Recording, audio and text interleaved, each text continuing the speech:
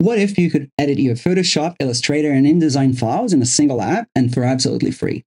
Now you can. I know it sounds too good to be true, and we'll see about that, but one thing I'm certain of it is a game changer. Canva has just launched the latest version of Affinity, which is their professional grade design software suite. Well, it used to be a suite.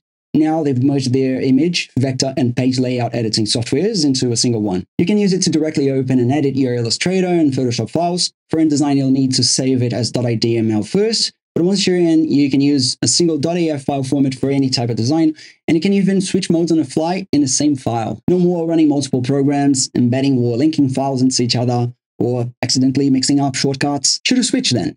You could, but keep in mind that Adobe still runs the show, and a few things like smart objects aren't supported yet. Still, Canva is clearly serious in this game, so to me, it's the perfect time to grab it for free and start getting familiar with what might become the new industry standard very soon. Download links in the video description. For now, this is all. I'll catch you on the next one.